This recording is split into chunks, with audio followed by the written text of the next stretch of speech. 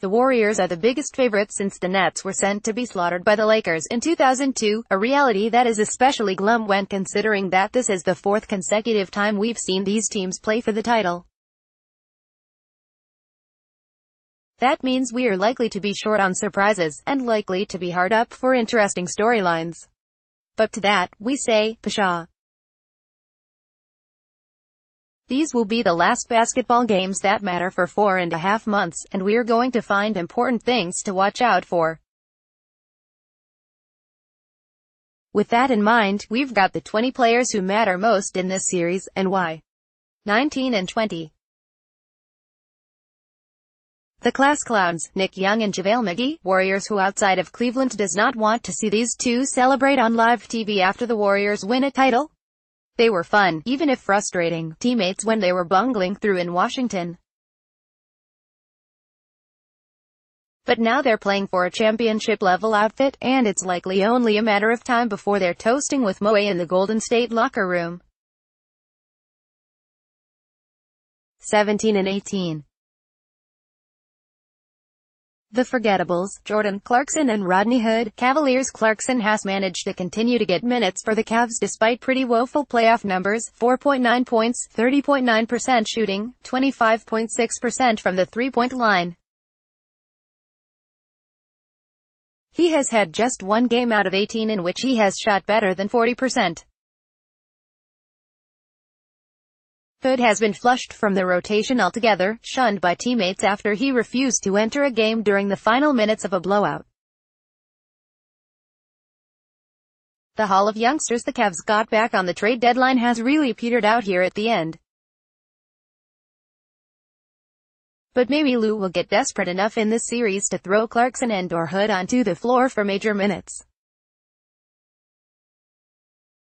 Long shot, but Lue might need a long shot here. 15 and 16.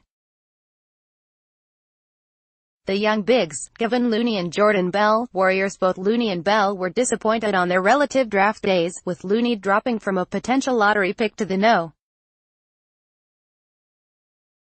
30 pick in the 2015 draft and Bell going from a mid-first rounder to the second round on a pick the Warriors bought from Chicago.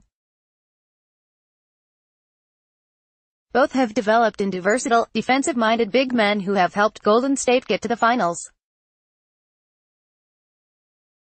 Just about every team in the league had a crack at drafting Bell or Looney, and there should be plenty of GMs watching this series with regrets for passing them up. 14. Shaun Livingston, Warriors Livingston has been relatively quiet in the postseason so far, but he typically comes up with a surprisingly big game or two against Cleveland, like the 10 points he scored in Game 6 in 2015 or the 20 he had in the opener in 2016. At 32, Livingston can have a calming effect on the Warriors' offense when he comes off the bench. Because the Cavs don't play a backup point guard, Livingston could be up for another big game in this series. 13. Draymond Green, Warriors Green has been doing his usual thing during this postseason, slumping as a shooter, 11.1 points on 41.7% shooting, 27.7% from the three-point line, but continuing to be a defensive anchor who happens to average 11.6 rebounds and 8.1 assists. He is also averaging 3.4 turnovers, a team high, and that's been the Warriors' biggest area of concern all season and into the playoffs.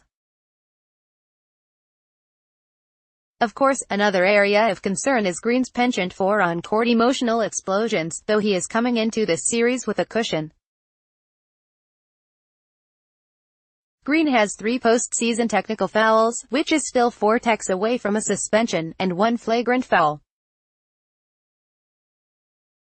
He would need to commit another flagrant, plus a flagrant 2, to be suspended. 11 and 12. The boardmen, Tristan Thompson and Larry Nance Jr., Cavaliers coach Tyrone Lue took a while to get Thompson back into the starting five in the playoffs, and he has not been very consistent with the minutes for Nance. He played a little more than 8 minutes total in the Toronto series, played 353 in the opener against Boston, then shot 12 for 13 with 4.5 rebounds in 14.9 minutes in the next six games. Golden State has been a very good rebounding team this season, ranking second in the playoffs with a 52.2 rebounding percentage. Thompson and Nance give the Cavs a chance to combat that advantage. 10. Klay Thompson, Warriors It's not that the Warriors really need Thompson to win this series, it's more that he'd probably like to leave something of a better finals legacy than what he's put up so far in his career.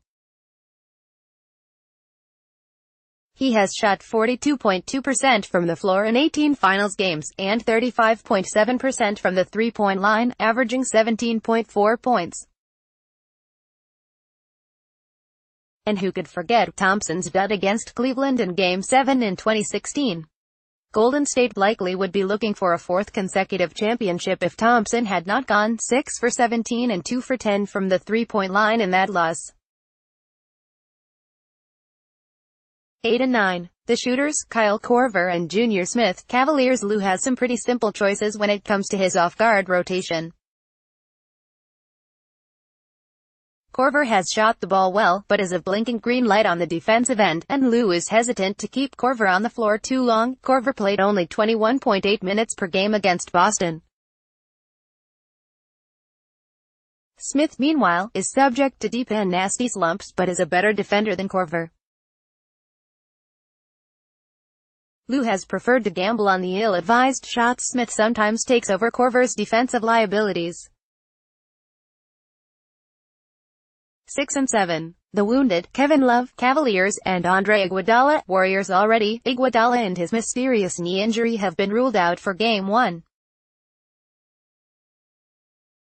That will be a blow to the Warriors' offensive flow. When Iguodala has been on the floor in the playoffs, they have had an effective field goal percentage of 55.5%, as opposed to 51.8% when he is off the floor. Their assist rate drops from 67.7% to 59.4 without him. The focus will be on the team missing his defense against James, but it's really on the offensive side that the Warriors will want Iguodala's presence.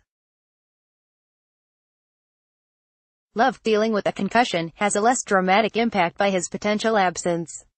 He's the team's no. 2 playoff scorer, at 13.9 points, but has been a non-factor in Cleveland's three finals appearances. He was out with a shoulder injury in 2015, averaged 8.5 points and 36.2% shooting in 2016, when he was also dealing with a concussion, and registered 16.0 points on 38.8% shooting last year. 5. Jeff Green, Cavaliers The Cavs would not be in the finals without Green, who came through in the final two wins of the East playoffs against Boston with 14 points in Game 6 and 19 in a big Game 7 performance. Cleveland would welcome those kinds of numbers from Green again. Consistency has never really been Green's strong suit, however, so he could well disappear here in his first NBA Finals. Oh, and there's this, he'll have to spend significant time guarding Kevin Durant 3 and 4.